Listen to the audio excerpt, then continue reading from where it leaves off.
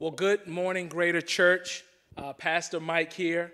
I pray you and your family are doing great. Um, you are always in uh, Lady Tamika and I's prayers, um, in our minds, in our hearts.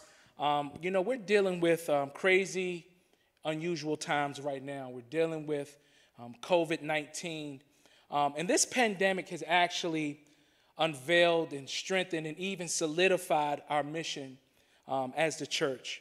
You know, our, our mission has always been to go beyond the four walls um, of the church, and we are moving forward. Um, as you know, uh, the state of North Carolina um, has begun to reopen across the state.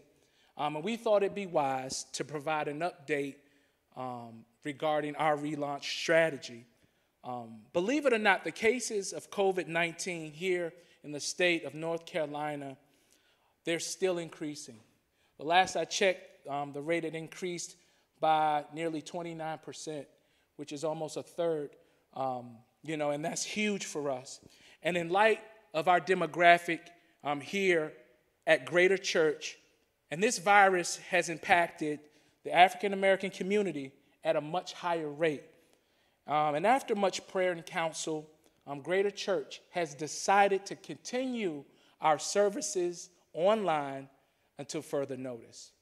I need you to stay plugged in to all of our social media handles um, as we will provide information going forward. Somebody type forward. All right? So, our hopes are to relaunch soon, um, but we wanted to be responsible in our worship.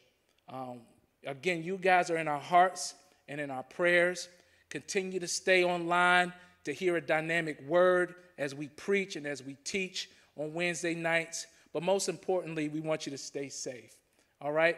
God bless you guys. We love you. Remember, greater is He that's in you than He that's in the world. God bless.